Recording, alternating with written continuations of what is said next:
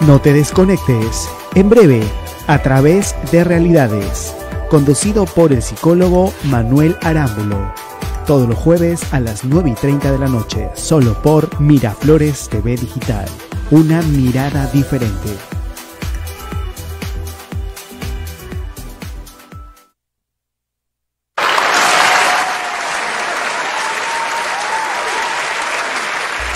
Buenas noches mis queridos amigos, bienvenidos a mi programa nuevamente a través de Realidades en esta hermosa casa Miraflores TV Digital. Eh, y sí, qué bonito decir que cálido, con este frío se necesitan cosas cálidas. Y algo de lo que es muy cálido es una relación de amor. Y por eso que este es el segundo programa que voy a estar con ustedes y que voy a tratar el tema de la pareja.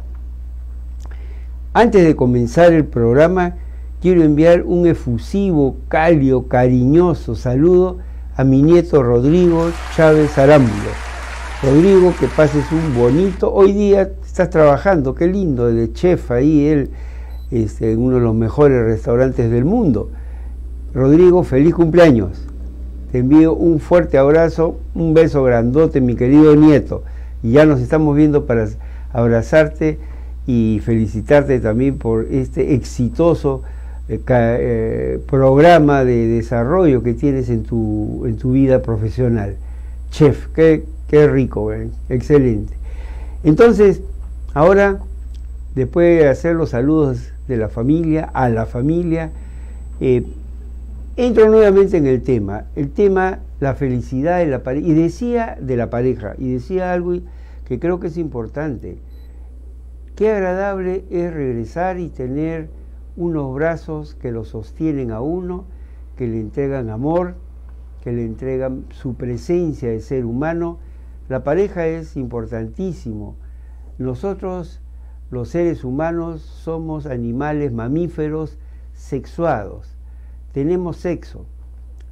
desde muy temprana, en muy temprano tiempo de evolución en la gestación del ser humano, se van formando ya las glándulas sexuales, los órganos genitales.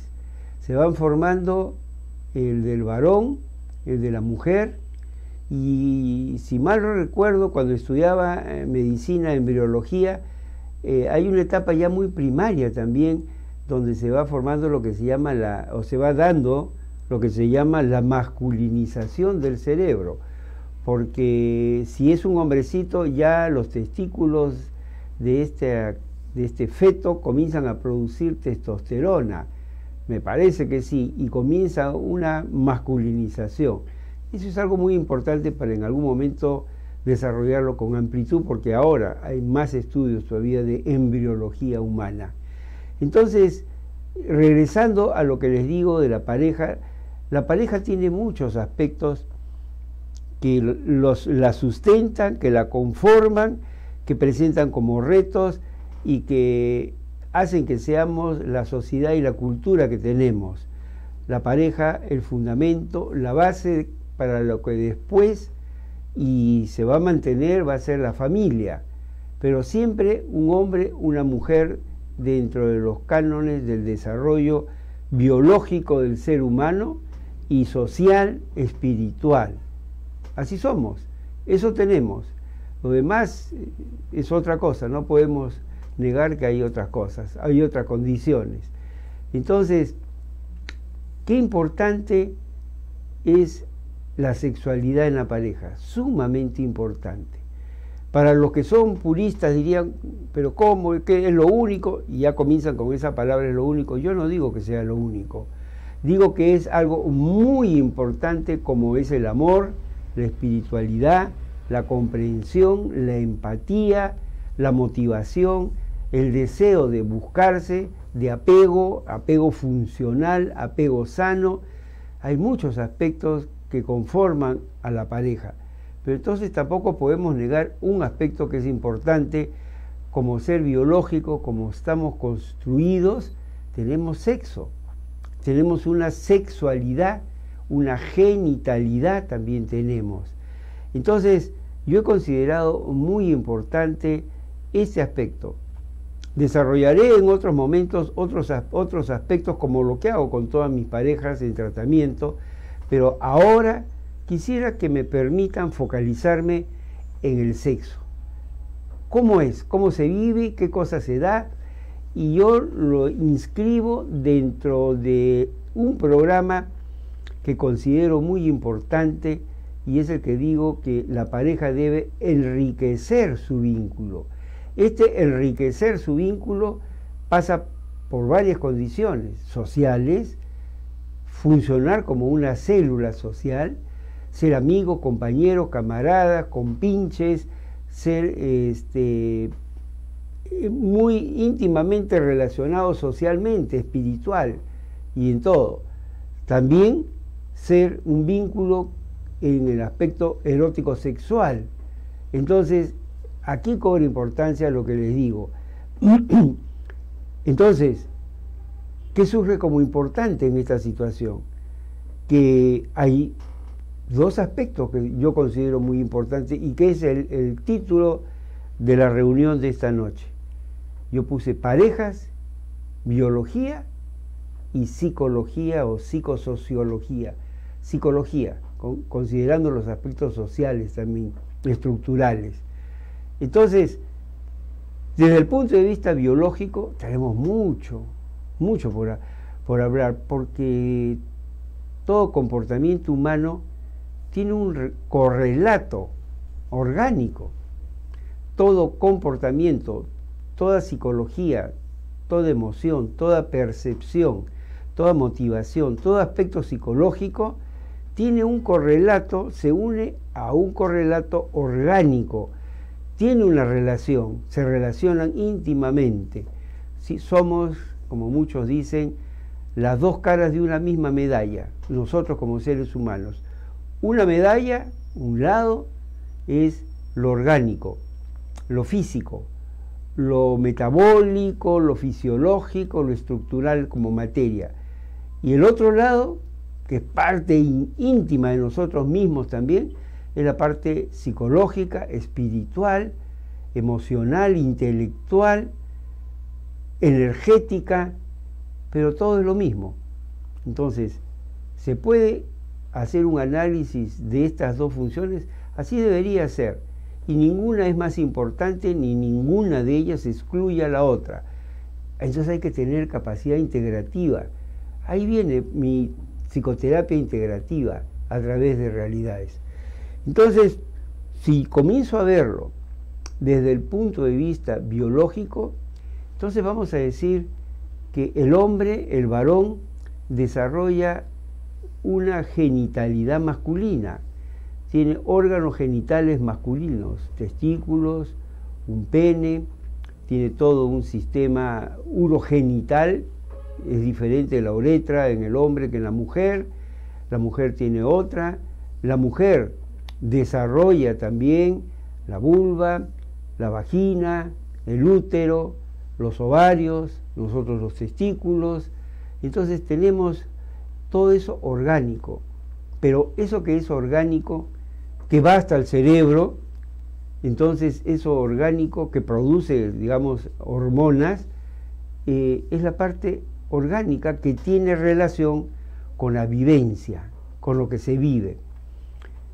Algunas personas entonces tendrán una estructura biológica de repente más frondosa, florida, más expresiva. Otras personas, porque así es el ser humano, lo tendrán menos. Así como unos tienen un, cabello castaño oscuro, otros lo tienen castaño claro, otros lo tienen negro, otros lo tienen muy negro, otros lo tienen rubio, blanco, cenizo, Dios mío.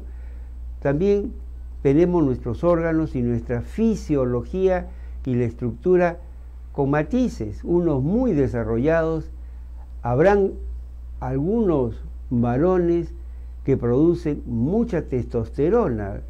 Sus gonadas, los testículos producirán mucha testosterona y eso tiene unas consecuencias fisiológicas y psicológicas algunas mujeres que tienen ovarios, que son los que producen los estrógenos, y la progesterona, está un poco más arriba, van a producir, ¿qué cosa? Los caracteres secundarios sexuales, los estrógenos, van a producir ciertas condiciones, ¿no? Para que sea femenina la piel, el grosor de la piel, eh, la voz, el tamaño, el grosor de las cuerdas bucales, que va a dar un tono varonil a unos, a unas mujeres más femeninos, algunos hombres inclusive con la voz un poco más aflautada, como se dice, pero eso está en relación también a las emociones que se tienen.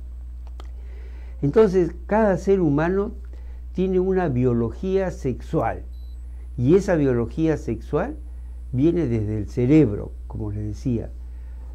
En la mujer hay tres hormonas que son muy importantes, cuatro diría a ver. Los estrógenos, la progesterona, eh, después viene la oxitocina, oxitocina y la vasopresina, cuatro hormonas que inhiben o motivan, dan, eh, dan impulso a la actividad sexual. Pero la mujer también produce un poco de testosterona, que le da, le da energía y le da apetito. Y eso sí es fuerte. Y los varones también producen en pequeñas, muy pequeñas cantidades, como las mujeres, testosterona, eh, estrógenos, estradiol. Entonces, tenemos un juego, como ustedes se van dando cuenta, orgánico, psicológico, muy importante. Hace muchos años se estudió eso. Y se estudió la fisiología. Se estudió cómo es la parte biológica y cómo es la parte psicológica. Yo me acuerdo, eh, Daniel, por ejemplo, tiene ahí uno, una fotografía sobre algo que es la función del orgasmo, un clásico. Un clásico es un libro de Wilhelm Reich, La función del orgasmo, excelente. Es con conceptos psicoanalíticos, Wilhelm Reich, y, pero el creador también, se puede decir el padre, uno de los iniciadores de la bio o la psicoenergética. Wilhelm Reich hablaba ya sobre esa función del orgasmo como un liberador de los conflictos tensionales, la tensión que se acumula y que en el orgasmo se libera esa energía. Tiene una función muy, muy importante en el ser humano. Entonces, esto ya se estudió en épocas más recientes, otro gran estudioso produce algo, fíjense ustedes, muy frondoso, Janov, la biología del amor, es más moderno. Y habla también de las partes biológicas y de cómo se va formando en el cuerpo humano una serie de mecanismos que van a dar sustento a la parte sexual. Entonces encontramos que hay personas que tienen una sexualidad fuerte y otras mediana, que tienen una manera muy particular de amar. En mi tratamiento de las parejas con problemas sexuales, también yo aplico un test psicológico muy importante, ahí nomás lo voy a mencionar, que mide el erotismo y el estilo de enamoramiento. Y fíjese acá en el tipograma del erotismo, ¿Qué puedo encontrar dentro de todas las clasificaciones que se tienen por acá? ¿Ah? Por ejemplo, en una de ellas dice, en una combinación, es una fórmula que se saca, para mí esos años que lo utilizo, dice, fíjense, le voy a leer un resultado pequeño. Tiene la cualidad, como casi nadie, de ser completamente absorbido por la embriaguez de la fascinación erótica. Hay que leer entre líneas todo lo que significa esto. La intensidad de su deseo y las ganas de experimentar nuevas emociones crece con rapidez. ¿De qué persona está hablando acá, no es cierto? Gracias a su entusiasmo fácilmente inflamable. Pero dice, su erotismo vibrante a punto de explotar nunca será por puro sexo, porque usted siempre vive las relaciones como una seducción excitante, como una fascinación mágica. Y fíjese, otra, le voy a leer otra más. Cuando conoce a alguien que le impresiona estéticamente y responde a sus pretensiones, comienza a idealizarle. Miren qué persona es entonces. Puede entusiasmarse con estos ideales y llevar a cabo en su imaginación, como lo va tipificando, fantasías románticas. Al idealizarle, usted se frena a sí mismo. Por eso titubea lleno de impaciencia. Esto puede ser un hombre o una mujer. Gracias a su atractivo encantador sabe, sin embargo, provocar y hacerse querer por sus atenciones delicadas y así consigue los efectos deseados. Estos son, se puede decir, cosas buenas, pero por otro lado, hay otras que sí son un poco más, mm, mejor no lo digo, más negativas, porque puede identificar aquellas personas apasionadas, desbordantes, por eso que yo tomo a la pareja, en, en algunos casos, este test, entonces puede, digo, identificar a aquellas personas que se desbordan, que no tienen control alguno, que no tienen inhibición, que actúan inmediatamente sin medir las consecuencias, que tienen conducta promiscua. Entonces, fíjense cómo se puede, y eso es hecho por un estudioso tremendo suizo, con miles de, personas que estudiaron el erotismo, no, que estudiaron el erotismo de miles de personas, todo su equipo, durante muchos años en Europa. Y sacó este test que ya lo tengo bastantes años. Y entonces he ido también viendo cómo corrobora lo que yo veo clínicamente en el comportamiento de estas personas. Entonces, regresando a lo que estaba hablando, qué importante es el sexo. El sexo es muy importante. Y entonces, como vemos acá y acá como lo tipifica en el estilo de enamoramiento, por ejemplo, entonces, ¿qué dice? Por ejemplo, en otro, para que vayan viendo, las expectativas que tenía sobre cómo debía ser una relación sentimental le han llevado al desengaño. De manera que su actitud ante las relaciones sentimentales y la sexualidad se ha visto afectada.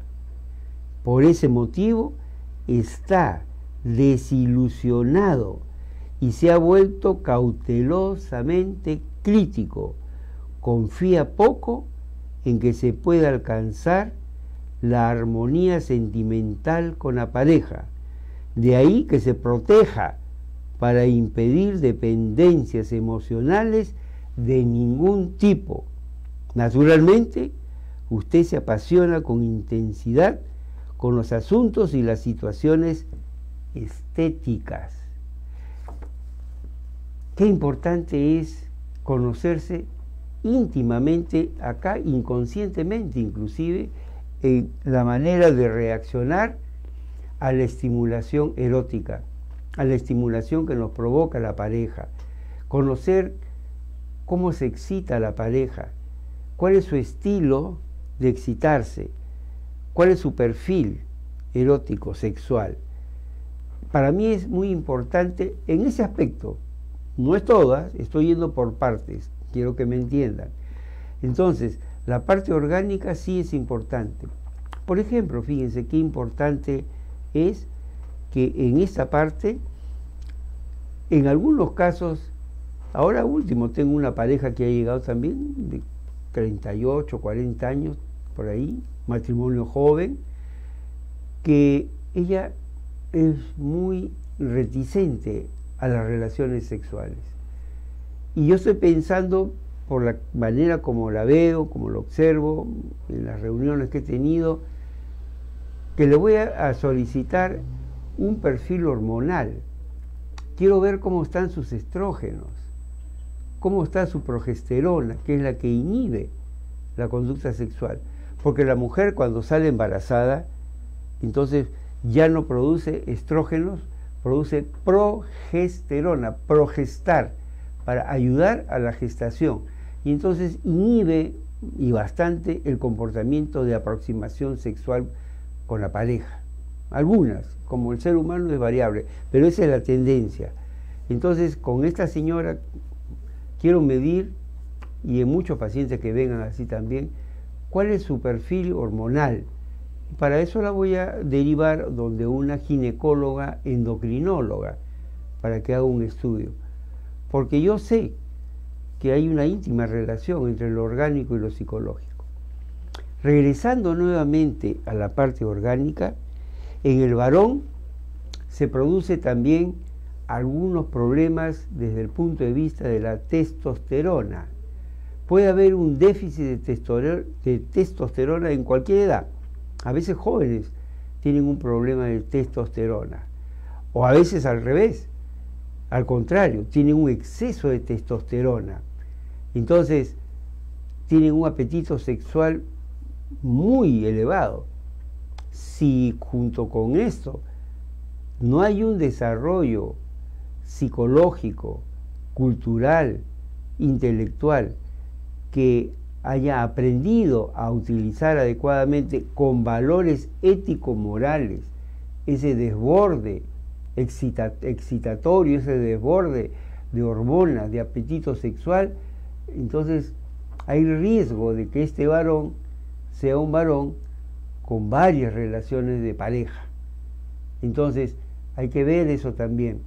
Entonces, ver si hay una base orgánica y una pobre, un pobre desarrollo moral, ético, que implique lealtad, que implique este, lealtad sobre todo, lealtad al vínculo de la pareja, respeto a la pareja y que pueda caer en, ¿cómo se llama?, en tentaciones, porque Desgraciadamente a veces en la vida se producen conjunciones negativas y encuentra de casualidad a una esposa que podría tener dificultades en sus relaciones eróticos sexuales porque tenga problemas en su niñez o tocamientos indebidos o hasta una franca violación o un adoctrinamiento donde se niegue por completo el sexo y se desarrolle, como con esta pareja que, ha venido y que ha hablado con la señora,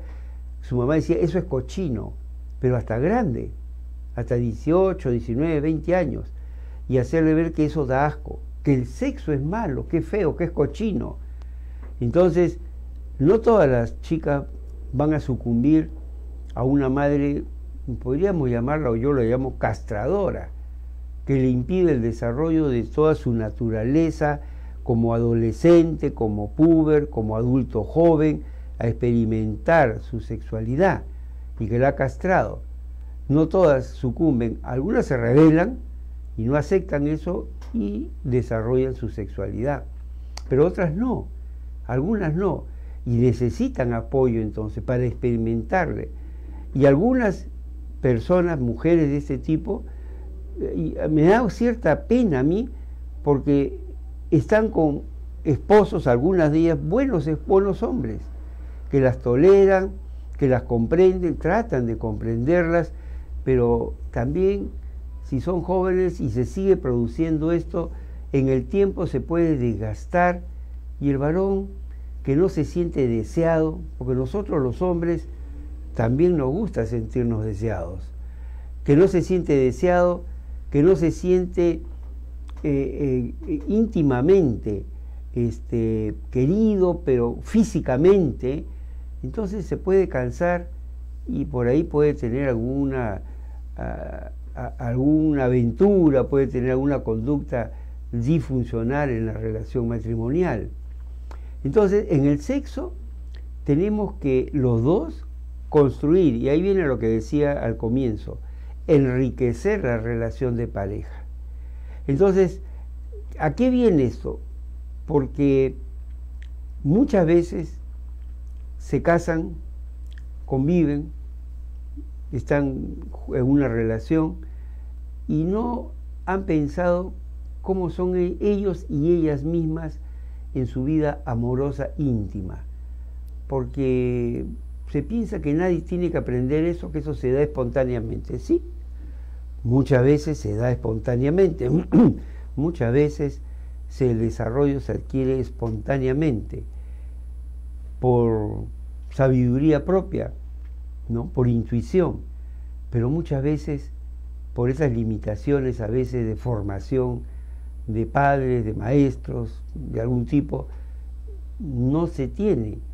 Y entonces se vive con frustraciones, con inhibiciones, no se habla por vergüenza ni con la pareja, no se habla porque se piensa que puede ofender inclusive a la pareja, el hombre o la mujer.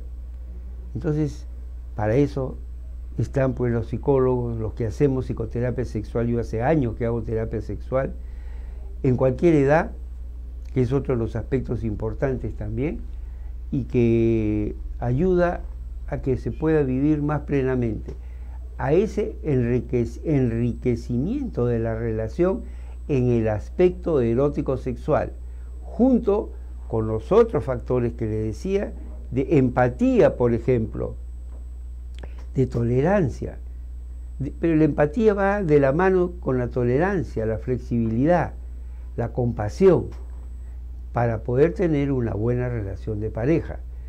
Entonces, cumple su papel básico, estructural, el sexo porque el sexo es hermoso, es lindo, ¿no? Y vivirlo plenamente, intensamente, sintiéndose comprendido y sintiéndose que entre los dos pueden explorarse más y satisfacerse a plenitud.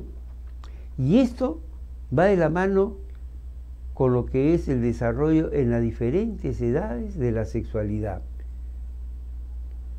si nos vamos hasta los adultos mayores o los adultos jóvenes, aquí he visto, y Daniel puede presentar, un manual muy interesante que yo lo utilizo con mis parejas y que se llama El desarrollo de el placer del tacto. El placer del tacto es un tratado para mí interesantísimo, contiene indicaciones para sentir placer con la caricia. Una cosa, se me viene, fíjense, una cosa es hacer el amor y otra cosa es hacer el sexo. Que habría que darse cuenta, ¿qué hacemos? Hacer el sexo es tener relaciones, el coito, penetración, el varón con la mujer, gozar los dos, sí, tener un orgasmo, tener muchos orgasmos, pero hacer el amor es más, es entregarse espiritualmente, psicológicamente, emocionalmente a la otra persona. Es una entrega con un mirarse a los ojos, con un encontrarse que los dos participan de una emoción compartida genuina, auténtica, donde no hay nada oculto donde se siente que si la pasión lleva al amor, que no solamente en esa situación inclusive de pasión intensa hay amor y se ama.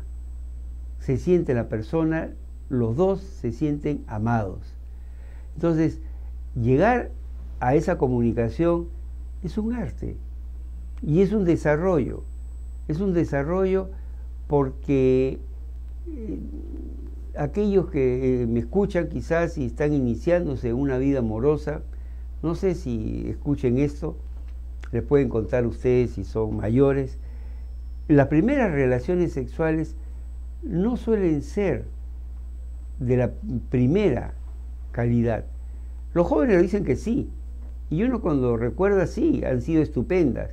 Eh, eh, el recuerdo y la vivencia es intensa sumamente intenso la, vivencia, pero cuando se va avanzando y ahí viene ese desarrollo de la pareja, cuando la pareja va avanzando en su conocerse eróticamente, uno comienza a sentir un placer más intenso. El orgasmo es vivido con más intensidad y sentido.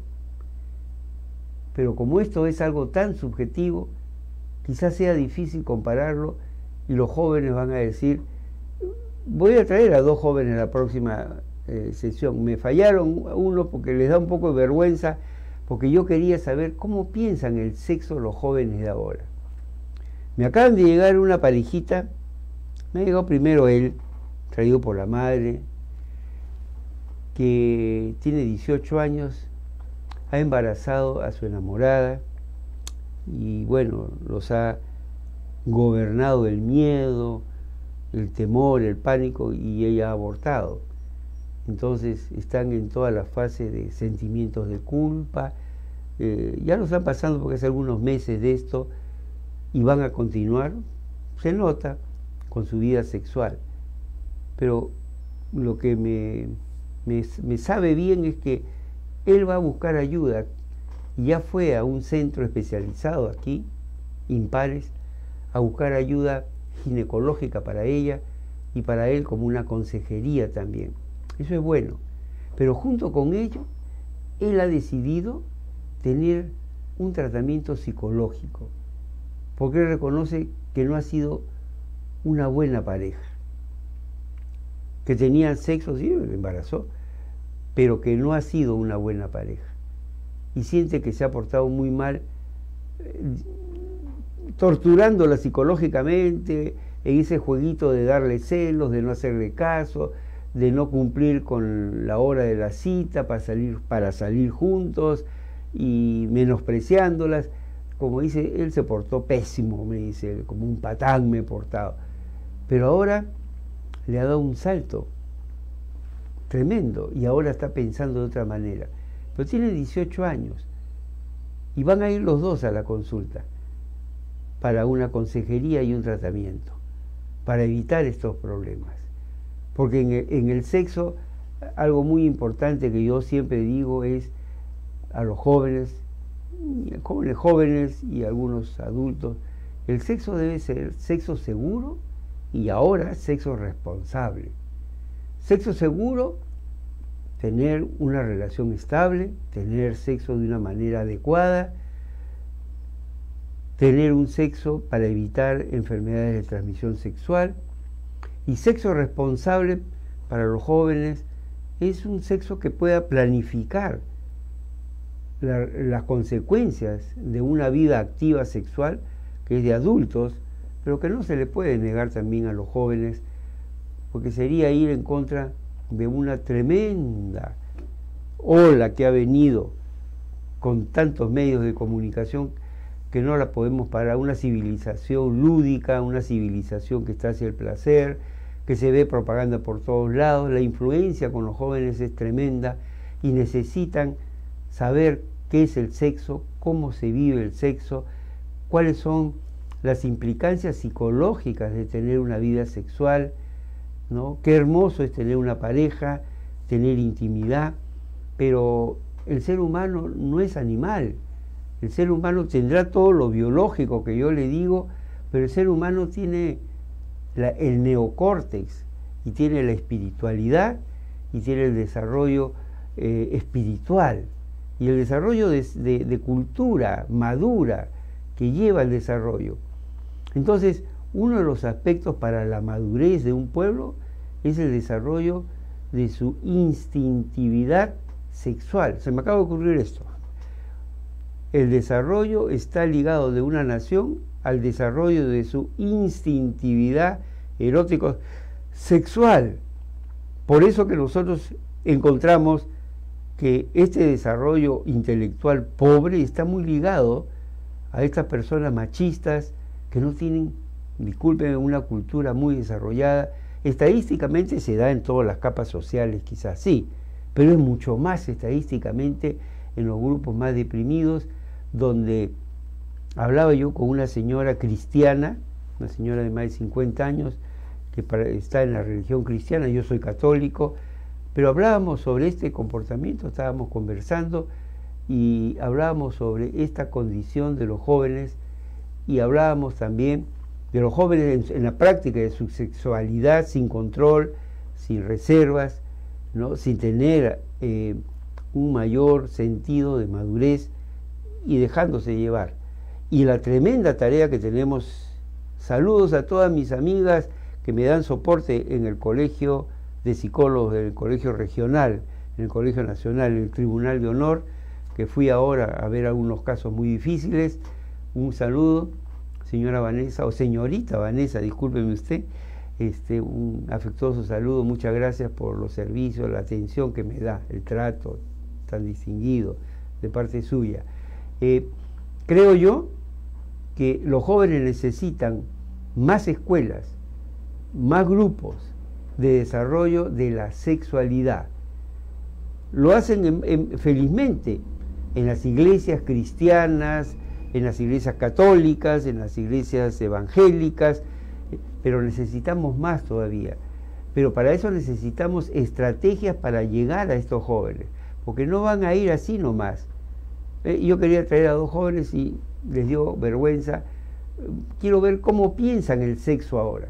Ojalá les lanzo un, un pedido a todos los que me ven, si tienen algunos jóvenes que quieran hablar, 20 años, 18, 19 años, ¿cómo piensan el sexo ahora? ¿Qué piensan? ¿Cómo lo viven? Las chicas, los muchachos, ¿qué hay ahí? ¿Cómo se llega? Las chicas casi siempre llegan a, a lo sexual por curiosidad, los chicos también. Su debut cada vez va siendo más temprano. Todavía se dan casos, yo los veo, llega a mi consulta, casos de chicas que han tenido su primera relación sexual a los 23, 24 años, pero una gran cantidad lo tiene a los 16, 17, 18 años, 15 años todavía y hasta menos a veces, por pura curiosidad o por seducción, manejo ¿no? de alguien. Entonces, el sexo, nuevamente les quería decir, es importantísimo. ¿Cómo lo vivimos nosotros? ¿Cómo vive la pareja la sexualidad? ¿Y por qué ya en un contexto social es tan importante hablar de sexo? Porque si son pareja y todavía no tienen hijos, van a tener hijos. Betty Mesta, Medina. Ah, mi querida Betty, un saludo muy afectuoso, muy afectuoso. Muchísimas gracias por la atención. Eh, Betty es una excelente amiga, psicóloga también. Entonces, yo creo que ahí viene la gran responsabilidad de la pareja que todavía es novio o que son esposos sin hijos. La tremenda responsabilidad de conocer más de la sexualidad, del sexo, de cómo es, cómo se practica, qué cosa es bueno, qué cosa no es muy bueno. Y de esa manera poder ser después profesores, guías de, su, de sus hijos. Y entonces ahí viene ya un apoyo, un apoyo psicológico para ellos en el sentido de cómo me puedo entrenar psicológicamente, porque uno puede saber, pero la parte de enseñanza, a, nosotros los que somos profesores de la universidad, o yo que tengo tantos años enseñando en la universidad, eh, enseñamos y vamos y me voy dando cuenta. Y otra cosa es enseñar lo que se sabe. Y si igual con el sexo todavía algo que todavía tiene un tamiz pues de pudor, mucho pudor, que es bueno, ¿eh? pudor, de vergüenza, pero ya tenemos por la embestida tremenda tremenda embestida de los medios de comunicación, las novelas, las telenovelas, los diarios, la televisión, la tremenda embestida a los jóvenes sobre aspectos sexuales no bien claros y que ocultamente tienen un mensaje muy negativo. Entonces, ¿cómo no tienen que saber de sexo más de lo que ya saben los padres, las parejas? Todavía si son parejas, más todavía. Y si no son todavía parejas, inclusive todos los adolescentes, los jóvenes, conocer más de sexualidad. Entonces, hacer grupos. Yo tengo una conferencia dada de varias horas, creo, dos, tres horas, en una universidad, pero era de eh, utilización de la hipnosis en el tratamiento de las disfunciones sexuales. A ver, yo, yo apenas eh, veo acá. Eh, Justina Hidalgo, ah, caramba, desde Nueva York, muchísimas gracias, Tina. Un afectuoso abrazo y cariño para ti, muchísimas gracias. Muchas gracias. Sí, me estoy cuidando bastante. He venido con mi frazada acá, ¿no? Este, qué bonito. Qué bonito saberse que estamos cumpliendo con una responsabilidad. Eso, eso me agrada a mí mucho. Y quisiera tener más personas que quieran entrar en el aspecto de cómo puedo saber más de sexo. Estuar el lío Blitas tiene su tremendo instituto de sexología. Lo he visto en el Colegio de Psicólogos. Vino acá, uno de los primeros programas para hablar de sexualidad en la terapia. Pero yo ahora quería hablar de la parte sana, de la parte sana de la sexualidad. En el otro programa hablaré ya de la terapia sexual, dentro de mi punto de vista, aunque ya lo hemos tratado un poco, pero esto es inacabable, esto es tremendo. Yo ahora quiero hablar de lo que es positivo. En, en la sexualidad tenemos aspectos enriquecedores. Como les decía, Wilhelm Reis en la función del orgasmo, un clásico, la función del orgasmo, habla de la liberación que se tiene en el orgasmo de las tensiones. Yo medio en broma cuando algunos alumnos me hablaban, yo hablaba sobre el orgasmo, eh, le decía, ¿para qué sirve? Me preguntaban, yo le digo, pone en equilibrio y en paz el simpático y el parasimpático. ¿Y qué es el simpático y el parasimpático?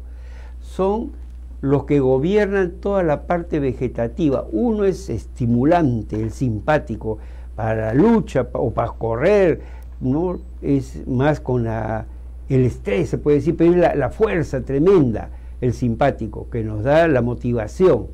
Y el parasimpático es el que nos da la relajación para que se vuelvan nuevamente a formar todas las sustancias que se han eh, gastado durante el día, está más en relación con el sueño, con la meditación. Entonces, en un buen orgasmo, los dos que están así durante todo el día, día a día, se logra un equilibrio donde ni está demasiado alto uno ni demasiado alto el otro, sino están en un equilibrio fluctuante que hace sentir tranquilidad. Por eso que después de un buen orgasmo, de un orgasmo, como casi siempre es bueno, en un orgasmo, uno se siente relajado. Entonces, una buena conducta sexual implica, y se lo digo para muchos varones, ojalá que lo comenten, porque mis pacientes mujeres me dicen que el varón solamente va al coito, a la penetración, de una manera que no es muy romántica, y cuando eyacula, cuando tiene su orgasmo, se tira, se voltea, se queda dormido o ya no le hace caso. Eso es hacer el sexo. Eso es lo que yo decía hace minutos atrás. Eso no es hacer el amor. Hacer el amor es algo más. Es preparar. Hablemos de esta parte. Cuando se van desarrollando las hormonas en el cuerpo. Es desarrollar primero el sentimiento amoroso, cariño, y en esa fase ir buscando, conociéndose íntimamente cuáles son las zonas eróticas de él, cuáles son las zonas eróticas de ella, qué es lo que más le agrada para que le haga esas estimulaciones, para que le dé un beso, para que recorra todo su cuerpo, para acariciarla, como dice acá, el placer del tacto, no la penetración, sino ir preparando a una hermosa conclusión, tener el placer del tacto, que es tremendamente sensual y erótico. Y después de eso, mis queridos amigos, varones, que sea la mujer que se produzca tal excitación que ella solicite la penetración, que sea ella la que diga que quiere ser penetrada, que quiere tener esa unión íntima, llena de amor, de pasión, donde se funden los dos, corporal, espiritual, físicamente, vibracionalmente, en energía, uno con el otro, donde se ven a los ojos, se besan y pueden seguir. En un libro excelente, ahora que digo, siguen con el automatismo de la relación. Talaferro es un psicoanalista que hace 40 años lo leía. Me parece que los que quieren seguirlo está en la biblioteca de la Universidad Villarreal, porque en internet lo estuve viendo, porque el libro lo presté, perdón, y no me lo devolvieron. Talaferro hace una descripción increíble, magnífica, perdón, magnífica, de cómo comienza desde el cerebro la excitación, cómo va por la médula a todo el cuerpo, pero llega un momento en que la excitación que pasa por la columna vertebral ya no llega al cerebro. Comienzan los actos reflejos a nivel de la columna baja y en el bamboleo, en, ese bamboleo de la pelvis del hombre y la mujer, comienza a ser ya automático y casi no se puede gobernar y ahí nomás ya es muy posible que en ese balanceo de la pelvis se llegue al orgasmo pero eso se da como un flujo, debería de darse como un flujo de energía y una penetración de amor, de uno a otro, no solamente física. Entonces, así es como se debe dar, se debe de dar, se debe de desarrollar una relación erótico-sexual, una relación erótico-sexual plena, donde se aprenda uno del otro. Y después que otra cosa que yo veía que era muy importante, como las relaciones en las parejas van a funcionar, y ojalá sea así, durante años, impregnarse de un espíritu investigador, de búsqueda, de cómo puedo encontrar una manera nueva, no como una desesperación, ¿ah?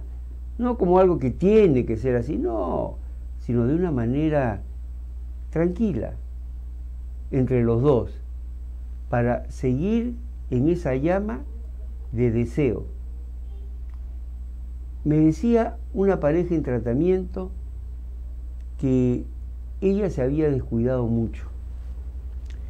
Él había soportado, me acuerdo, que ella se engordara, que perdiera la figura, no era la jovencita, bueno, pasaron 15 años ya creo de relación, ya estaba más grande, pero ella se había descuidado mucho, mucho. Y él más bien era un tipo más o menos atlético, iba al gimnasio, se controlaba en la comida y tenía una figura que había mantenido 45 años, 48 años creo, pero ella no. Y tampoco tenía ella mucho deseo sexual. Entonces, hay que cuidar, hay que buscar cómo entre los dos ver de qué manera se puede, antes de llegar al pavor de que creo que está con otra o creo que está con otro, ¿no? Pensando en ella, si él es el que se ha descuidado y se ha puesto pues panzón, porque estéticamente nos agrada lo estéticamente conformado. Entonces, queremos ver, pero ahí pues vienen los autoengaños y por ejemplo, eh, ¿cuáles eran las disculpas? Si me quiere, que me quiera como soy. Yo soy así y nadie me va a cambiar. Y esa frase la encuentro en hombres y en mujeres. Eso quiere decir, así soy, pero hay otra cosa que no la dicen y que se nota está ahí. Y no te atrevas a querer cambiarme. Yo sé que uno debe aceptarse y aceptar a la otra persona como es. Sí, hay un deterioro, hay algo así, pero no llegar a una condición donde no se haga evidente la sensualidad. He llegado a decirle a algunas parejas de las tantas que ya veo, eh, ¿por qué no querer a mi gordita? ¿O por qué no querer a mi pelón, a mi gordo, panzón, pelón, con arrugas? Pero ¿cómo buscar el erotismo? Es, es algo que es un reto. Yo no voy a hablar mentiras ni voy a estar engañando a nadie. Sé que es un reto, pero uno puede mantener con diferentes estrategias y viene, pues no le voy a dar también la receta ahora del pay de manzana, ¿no? Pero hay maneras y muy interesantes, muy novedosas. Esto es escrito por unos, creo que son suizos o, este, ¿de dónde son? Noruega, de ahí, países nórdicos, no me acuerdo ahí. Y utilizan un estimulante como un vino, una copa de vino, otra cosa por ahí estaba viendo, para poder estimularse un poco. A veces no es necesario, a veces sí. Entonces, la masturbación en la pareja también es algo que se puede dar. Estimularse las zonas en el tacto puede significar tocarse los genitales. Entonces, hay que romper tabúes. Si quieres ser feliz con tu pareja, suelta un poco tus barreras sé consciente. Y en eso hay bastante, tanto del hombre como de la mujer, ¿ah? hay bastantes frenos, bastantes limitaciones. Entonces, vamos a la parte biológica. Tenemos hormonas que pueden estar impidiendo que tengamos una buena sexualidad o las pueden estar incendiando. Inclusive, en un momento estuve viendo a una chiquita, una jovencita, 13 años, 14 años creo, que era lesbiana, vino con su mamá, desesperada, pero ella la conducta era muy agresiva en su lesbianismo. Y este tenía una serie de otras conductas bastante erráticas, no normales, no muy funcionales, y ya pues viéndole, observando ciertas cosas, le dije a la señora, vayan a hacerle un examen hormonal y la chica tenía testosterona bien elevada, elevadísima, porque también se produce. Entonces eso estaba eh, haciendo que, tuviera ese comportamiento tan agresivo en su lesbianismo. Y entonces, con un buen tratamiento médico, se niveló y seguirá todavía con su lesbianismo, pero con una conducta mucho más, mucho más moderada. Entonces el orgánico, sí, nos da ciertas condiciones que tenemos que conocerlas. El hombre y la mujer tienen que conocer qué tan sensuales son. El test de acá del erotismo que tengo, por ejemplo, permite eso. Y yo qué tan sensual y qué tan erótico soy, cómo soy como pareja, y qué es lo que me llama más la atención, los físicos estéticos o me gusta la sutileza de la relación. Entonces, hay muchas cosas por hablar en relación al sexo que tenemos que ir poco a poco. Y yo encantado, con mucho gusto, de ir dándoles, porque hay más cosas. Ahora he traído aquí como un salpicadito, pero después voy a ir profundizando en cada uno de ellos, por ejemplo. La parte espiritual, la parte psicológica, es importantísima, es muy importante. ¿Cómo vengo yo en mi desarrollo psicosexual? De los, vamos a decir, del nacimiento, pero vamos a decir de los 8 o 10 años, ¿qué pasó? Ahora que tenemos tantas violaciones, que tenemos tocamientos indebidos, ¿cuántas personas tienen tocamientos indebidos que son experiencias eh, eh, sexuales o experiencias eróticos sexuales precoces y muy precoces? Estoy viendo unos casos horribles ya, ya de, judicializados por una situación muy, muy, muy agresiva sobre una, una adolescente. Entonces tenemos que conocer más de la sexualidad y tratar de ir viendo cómo se mejora.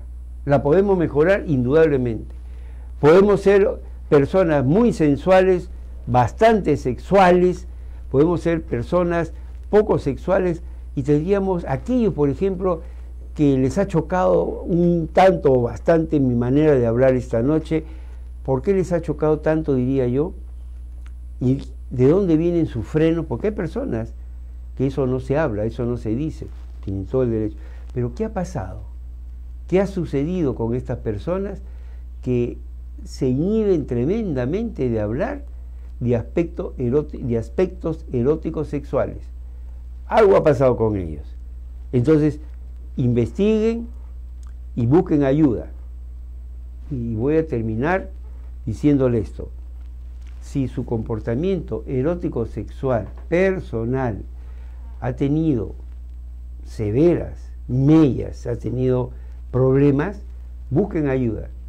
No sigan con eso, para que no se forme una cadena transgeneracional que las consecuencias sean de acá a dos generaciones más todavía, sino que se interrumpa definitivamente ahora y ustedes, si es que están en eso, puedan ser unos buenos profesores de nietos, de sobrinos, de hijos, de hijas, para que ellos también puedan manejar esto. Porque estamos siendo atacados, la sociedad peruana. Estamos siendo atacados. Hay personas que están dentro equivocadamente de su homosexualidad, su lesbianismo, equivocadamente con conductas que no son adecuadas. Son adecuados lo suyo, personal. Yo lo respeto, hago terapia a pacientes homosexuales y lesbianas, pero no tienen ningún derecho a sutilmente, de alguna manera, porque seducen algunos, no todos, ¿ah? no todos, seducen a niños y a niñas de su propio sexo. Y eso no tiene perdón. Eso es injustificable por completo. Entonces tenemos que estar preparados conociendo más de la sexualidad nuestra y de los demás, sobre todo los que están cerca a nosotros, muy cerca. Tenemos que tener mucho cuidado. Bueno, mis queridos amigos, ha sido un encuentro para mí muy interesante. Espero haberles podido servir a varios. Espero sus noticias. Escríbanme. Me encuentran en el Google, ponen Manuel Arámbulo y ahí me encuentra Manuel Arámbulo, psicólogo, o si no en el Face ponen Manuel Arámbulo, especialista en terapias de última generación. Y ahí me encuentran. Y si lo quieren alguien, algo particular, me pueden llamar por teléfono al 999 056500. Ponen en el Google nomás, pongan ahí en el Google, me gluguean como se dice ahora y van a encontrar a Manuel Arámbulo. Yo encantadísimo de poder darles un servicio personalizado. Muchísimas gracias, abríguense bien, un chocolatito caliente a la cama y que tengan un buen fin de semana. Y el sábado a gritar nuevamente por el Perú, que vamos a darle una sorpresa, otro, otro batacazo fuerte a Brasil. Muchísimas gracias por su atención. Buenas noches.